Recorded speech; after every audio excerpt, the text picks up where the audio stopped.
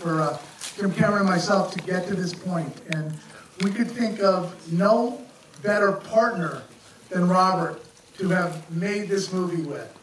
And we're very excited to share with you today a look at about 30 minutes from the film.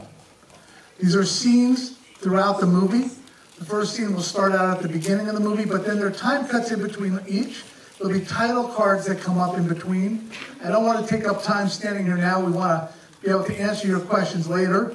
So without further ado, please put on your 3D glasses and uh, take a look at the world of Alita and a little introduction from uh, Jim Cameron himself. Thank you for coming today.